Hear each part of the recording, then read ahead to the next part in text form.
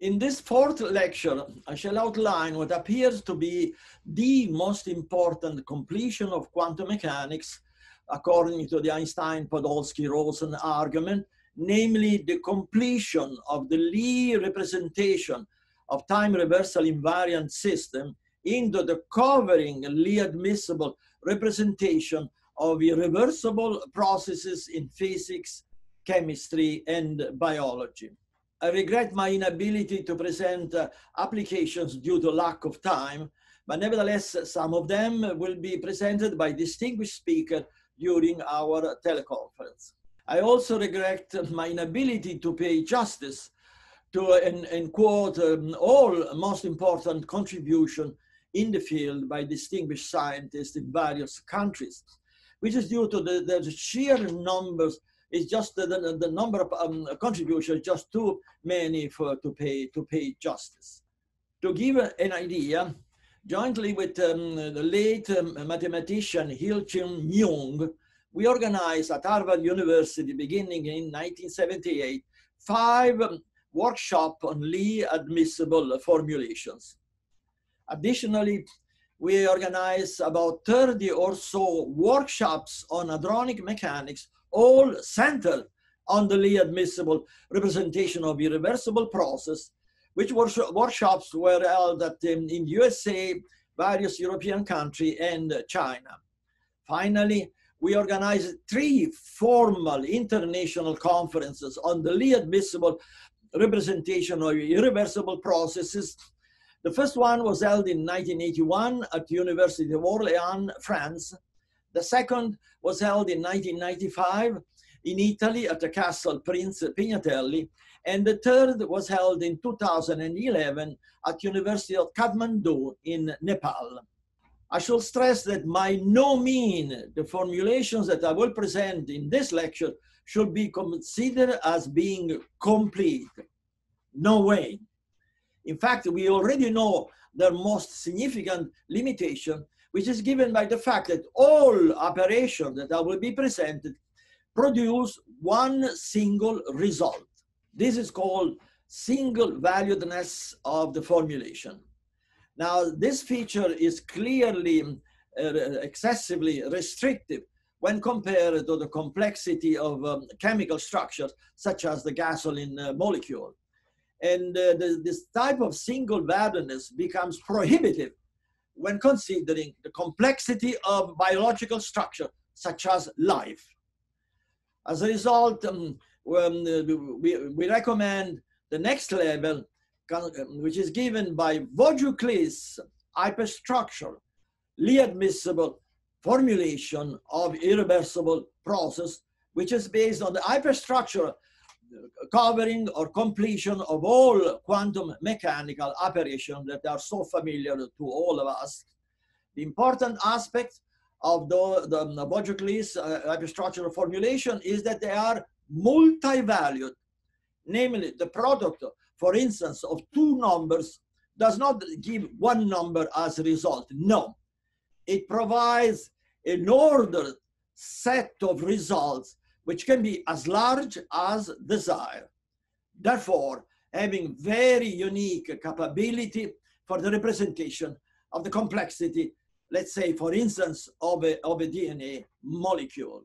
I would like to take this opportunity to express my sincere appreciation also in, on behalf of all participants and speakers to Thomas Vougiouklis for his important contribution to this conference, in particular for presenting a tutorial session on his hyperstructural formulation, which is available next to mine, as well as for um, presenting truly seminal lecture on, on, on, on, um, on the most advanced and, and um, view in, in quantitative sciences that I believe uh, may well constitute a new page in the history of science.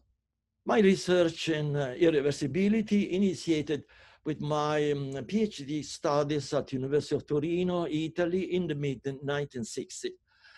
As part of my uh, curriculum, I studied the historical 1935 paper by Einstein, Podolsky, Rosen, and I was indeed impressed, as I stated a number of times, Jointly, I studied the, the, the, paper by Bohr and some of the, the subsequent papers by his followers, and they, but they did not impress me at all because Einstein did not claim that quantum mechanics was wrong. Namely, Einstein claimed that um, quantum mechanics cannot describe the entire physical reality. Namely, there are systems in nature that are beautifully described by quantum mechanics, but there are other systems that quantum mechanics needs a completion. I had many reasons for embracing Einstein's view of the lack of completeness of quantum mechanics. That, uh, that was really propelling for me was the knowledge uh, that combustion is irreversible over time, as we all know, but not necessarily um, considered in its proper light. We all know that um, the time reversal image of combustion implies that smoke has to reconstruct uh, the original fuel, violation of causality. But uh, not all physicists admit uh, the, the, the, the, structural, the basic character of irreversibility. For instance, I was told by my teacher uh, during my graduate studies that um, uh, this type of irreversibility of combustion is illusory because when we reduce the combustion to the elementary particles, quantum mechanics is recovered in full. Uh, with all due respect to, to my teachers, I disagree. And indeed, I, um, I proved a number of no reduction theorems, such as the, um, the following one, namely that um, uh, stating that um, macroscopic irreversible system cannot be consistently reduced to a finite number of quantum mechanical reversible particles and vice versa, a finite number of quantum mechanical reversible particles cannot reproduce a macroscopic irreversible system. The, the essence of this theorem is essentially Bell's inequality because that's what Bell's indicates, namely that there is no classical counterpart of quantum mechanical particles. It's important to illustrate that the completion of quantum mechanics for, um, for, uh, for irreversibility is indeed one of the most important completion. In 1964, there was the historical discovery of the omega particle, and I still remember the uh, great excitement I had when I first saw the, the image of this particle reaction. Why is such an excitement? Well, um, for me, the primary reason of, uh, was that, um, that th this reaction was evidence that uh, irreversibility originates at the ultimate level of elementary particles, because such a um, reaction is manifestly irreversible over time. As a result, my theorem of no reduction were not necessarily due to this ultimate origin of irreversibility. I kept this picture for the rest of my life.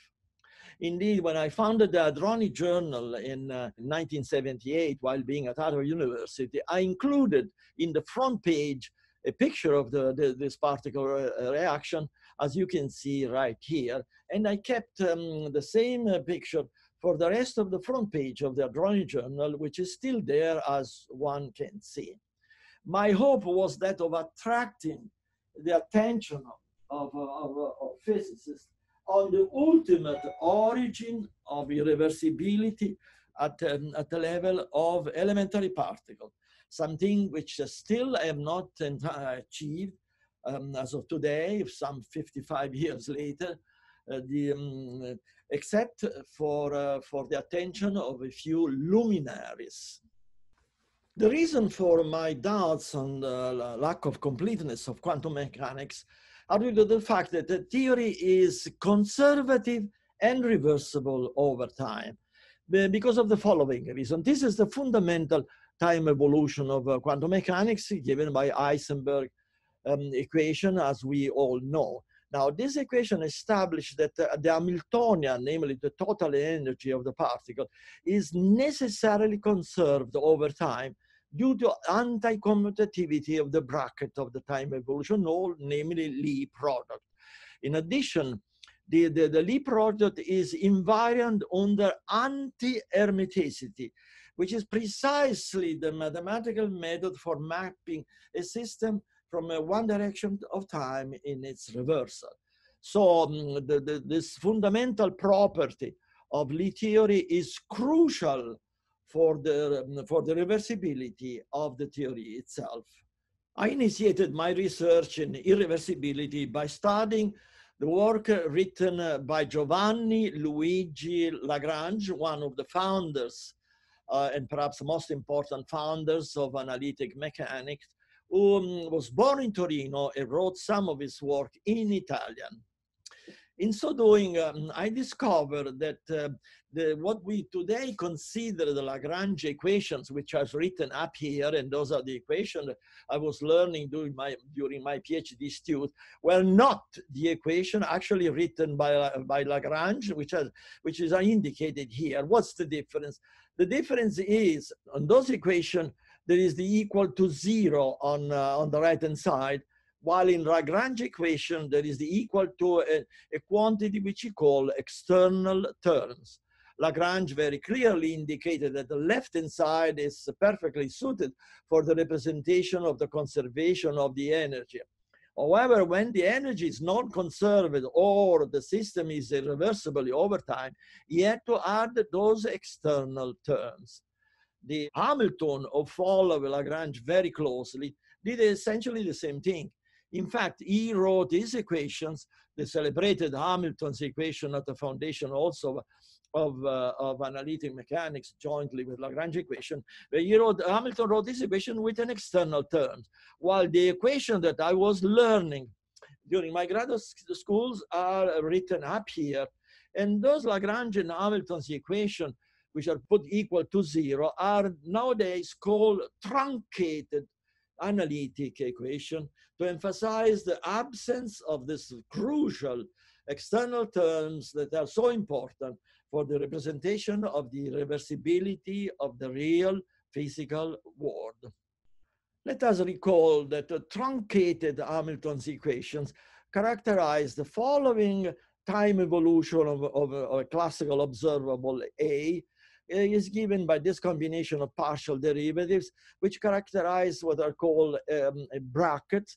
And those brackets verify the axiom of a Lie algebra by therefore also verifying the crucial invariance under anti-hermiticity. By um, combining this central feature of the analytic mechanics of the 20th century with the actual teaching by Lagrange, then it became then evident to me that there was no other realistic possibility of incorporating irreversibility in, um, in, uh, in, in mechanics without the generalization, we'll say the completion now, of the Lie algebra. So because if we remain within the class of equivalence of Lie algebra, um, reversibility was absolutely unavoidable in my view. So therefore, I decided to, um, to complete my thesis by pro proposing the following simple generalization of Hamilton's equation, which are essentially given by the conventional equation, but with a constant quantity lambda in the year multiplying at this term and a different qu quantity mu. And it was evident that this, um, and I defined this as a new bracket, and um, I call it AH, and, uh, it was evident that, uh, that this bracket was no longer antisymmetric and was no longer invariant under anti-hermiticity. Therefore, it gave me indeed a realistic uh, possibility of representing irreversibility as it was um, then proved during my, my PhD thesis as occurring for any time the parameter lambda and mu are non-null as well as but different among themselves. It was then evident um, and rather simple to, to, um, to write down the following um, the, the um, operator version of the classical equation, which are given by, in this case, by still the scalar terms lambda and mu different among each other, but characterizing now a bracket in between uh, operators. And this bracket is definitely not a Lie bracket. I published uh, these results in this first paper of um, 1965, published by the journal um, Meccanica. But um, I, I, was still um, undecided as to whether to publish the entirety of the thesis. Uh, the reason was that um, I had to know what type of algebra was characterized by the central bracket that is um, given by this parametric type deformation of um, Lie algebras. I knew many, many different algebra, associative, Lie, Jordan, nilpotent, etc. But I had no idea what this algebra was. And the knowledge of the, the, the type of algebra was crucial for any further uh, advancement. Um, at that time, I, I, had the chair of uh, nuclear physics at uh, Avogadro Technical Institute in Torino, and therefore I could afford to, to wait. And um, so I decided to delay the, um, the, the, discussion of my thesis until I located the, um, and identify what type of algebra was characterized by this new bracket. In this way, um, I, uh, I, I spent essentially one full years of um, searching um, in the mathematics library in the University of Torino, Milano, Paris, uh, Imperial College, and other, another uh, important uh, university, until finally mm, located an important paper by the American uh, mathematician Albert of 1948, in which introduces the notion of Lie admissible algebra without, however, any um, explicit example uh, uh, at all, except, except some esoteric uh, cases of not uh, direct um, applicability to physics.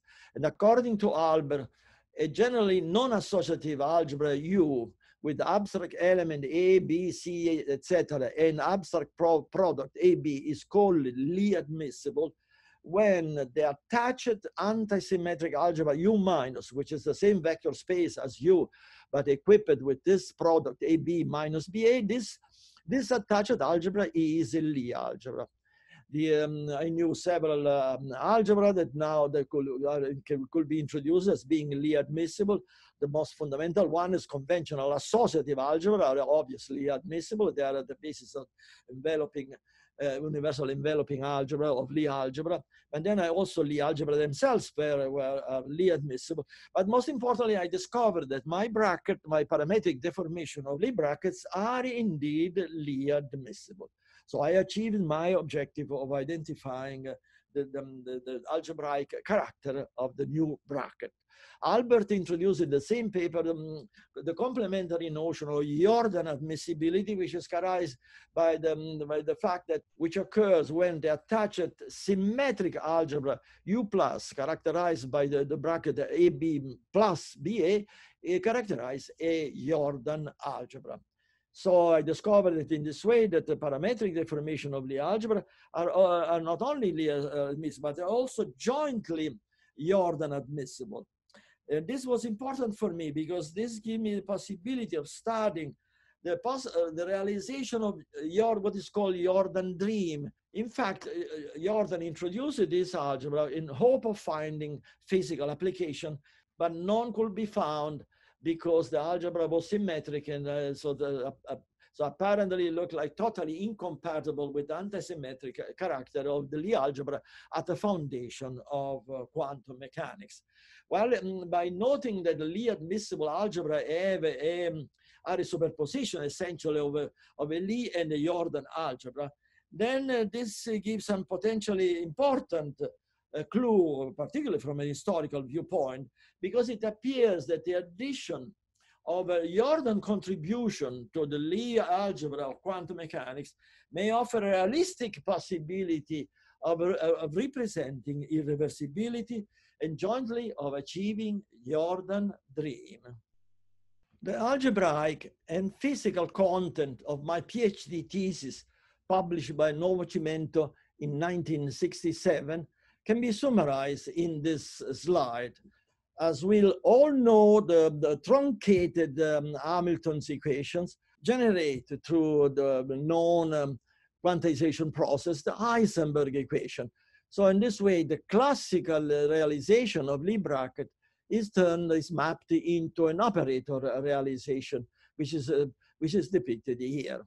When we use instead the true Hamilton's equation, those with external terms, the, which is appeared here, then and we use the, the, my proposal of 1967 of, um, of broadening or completing, according to Einstein, Heisenberg equation in, uh, with this, in, uh, at this moment with this simple parametric form. Essentially, what we do, we, we preserve Lie algebra. That's the very meaning of uh, being Lie admissible. But then, then there is the other meaning of being Jordan admissible, namely we add to the Lie algebra content, we add a, a content of, uh, of Jordan algebra. Um, so in different ways, the, the Jordan content depicted here is the direct representative of the external term of the historical full analytic equations by Lagrange and Hamilton by therefore providing um, a realistic possibility of realizing Jordan dream of, um, of achieving some, um, of allowing his, his, his, algebra to, to have uh, some uh, physical application and in reality an application of very quite substantial importance because the Jordan content represents the, uh, the irreversible content of the dynamical equations. I shall add as a curiosity that Larry Biedenharn in, in 1999 and in the apparently independently Macfarlane also in 1989, they published a paper on, uh, on the so-called Q deformations, which are a transparent, manifest, particular case of my parametric equations published many years early in 1967. I should add that um, um Larry Biedenharn knew very well about my my um, my my PhD thesis because I, I spent a trip to his the Department of Physics at um, Duke University to illustrate and debate Lie and Jordan algebras. And also the Macfarlane had received a number of copies of my 1967 paper. Despite all that, they elected not to quote my 1967 paper.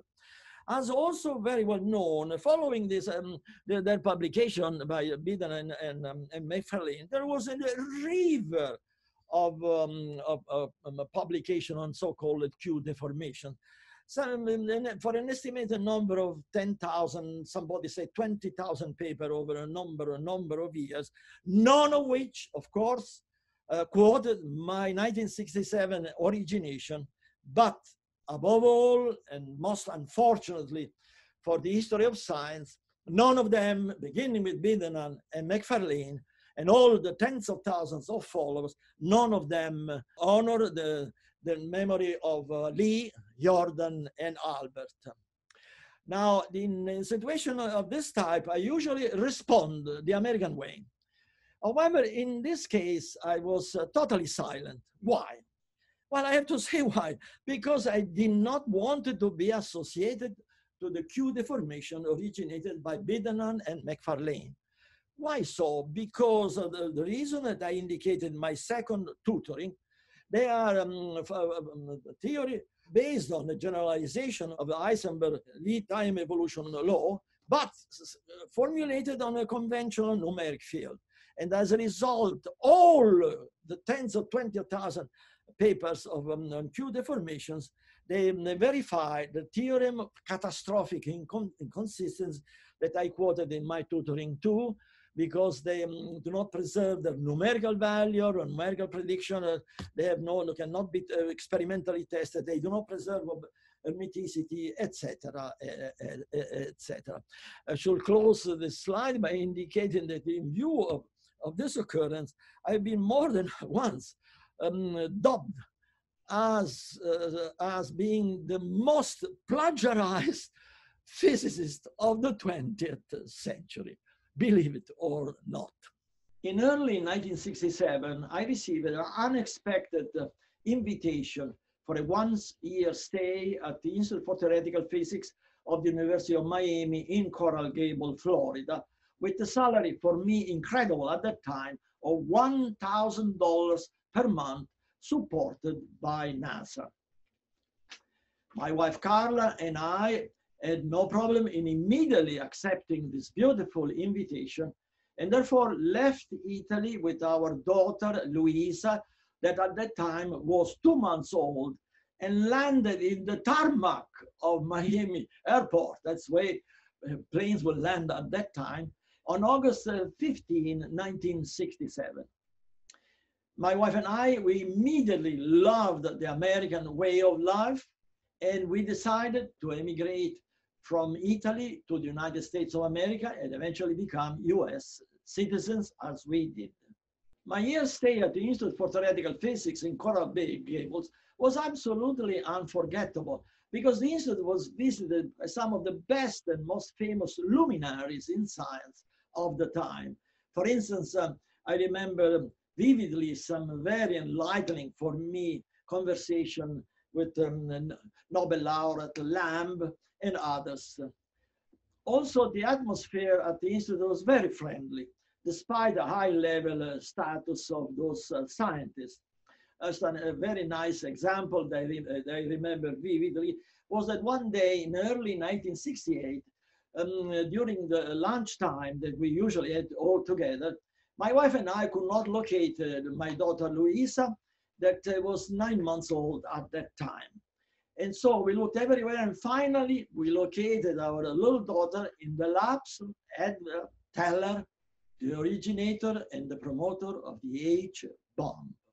I was, of course, intimidated by high-level stature of the, of the visitor, and therefore I kept uh, scientifically quiet. I tried to learn as much as I possibly could.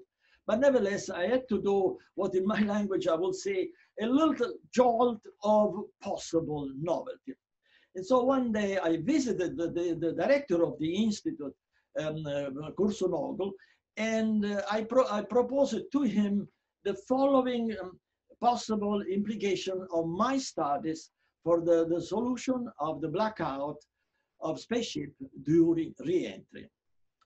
In essence, the um, my proposal consisted in, uh, in, uh, in that uh, the fact that NASA should continue to monitor during blackouts the conventional uh, frequency, even though there is no reception.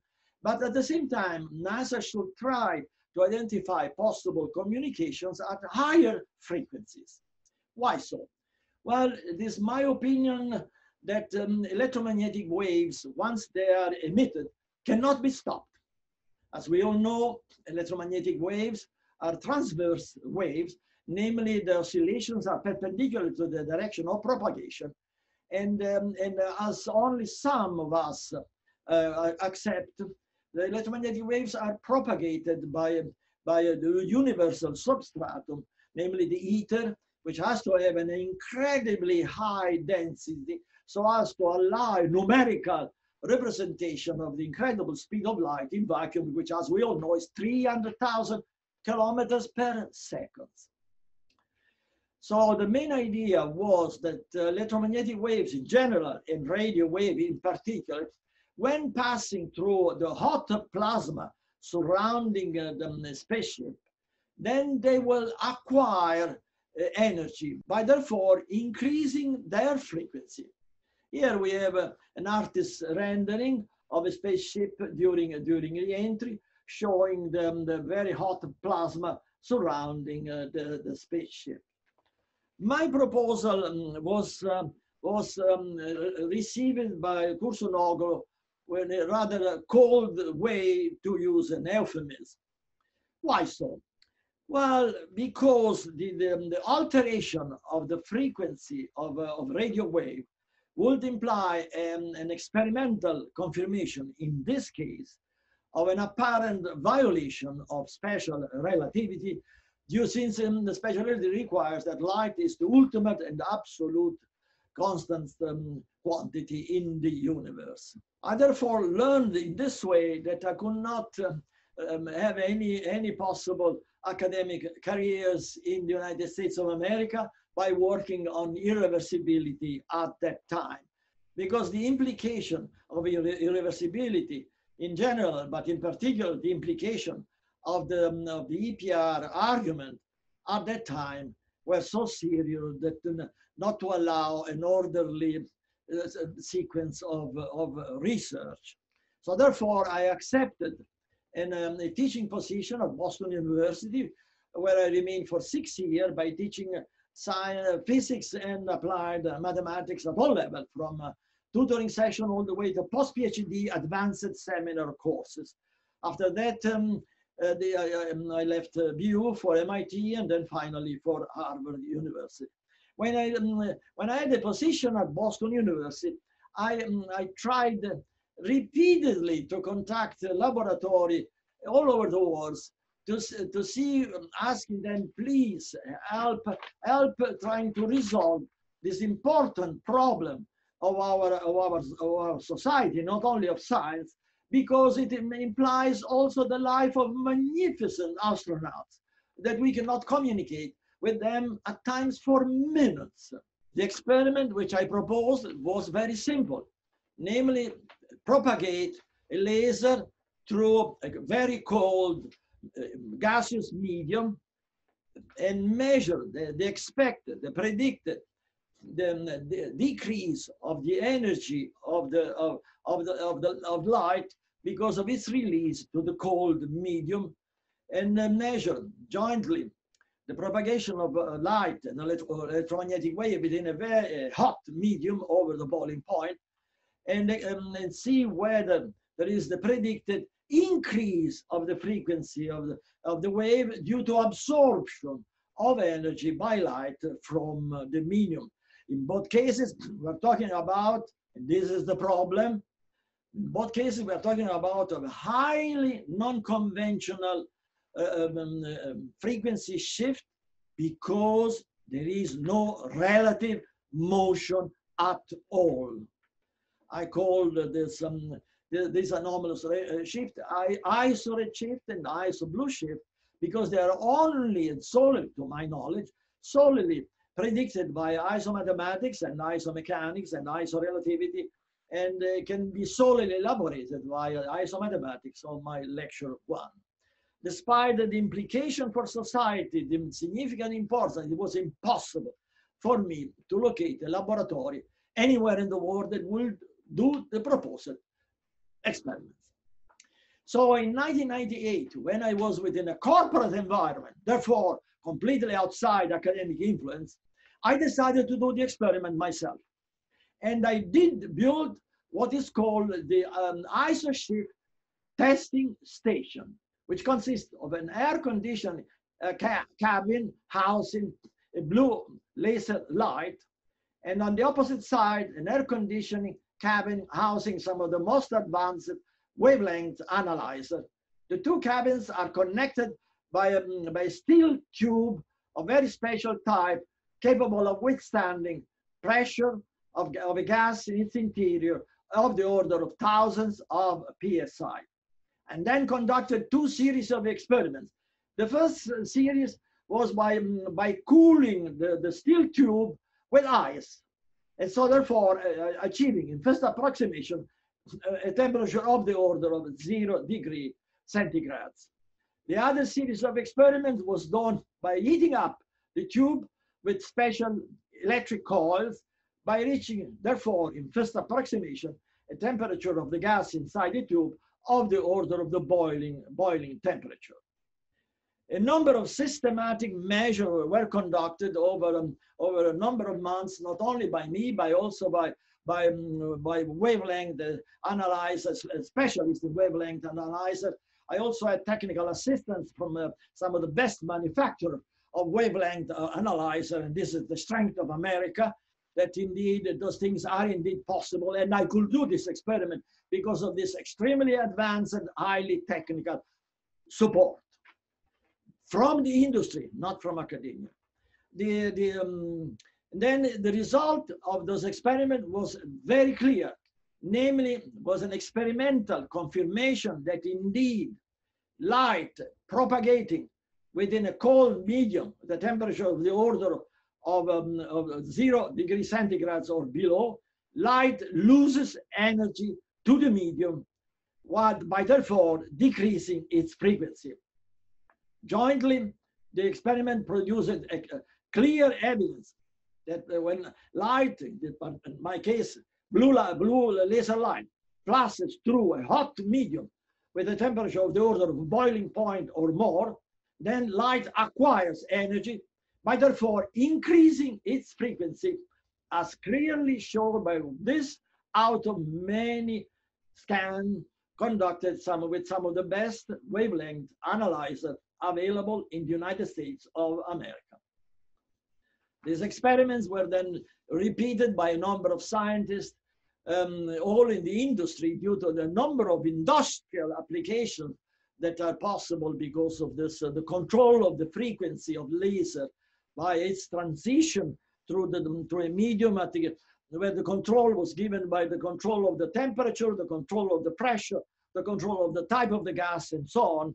So this, uh, because this is essentially established the foundation for a new industry uh, with the, emission of, of, a laser with a control frequency and a control uh, intensity. Despite all this experimental evidence, with papers published in referee journals uh, that could find no, no interest in, in US federal agency and uh, that I'm aware of. And the situation is the same as of today. Again, to the best of my knowledge. It appears that unfortunately for mankind, academic allegiance nowadays is stronger than the pursuit of basically new knowledge, so important for the production of new technology and the advancement of our civilization.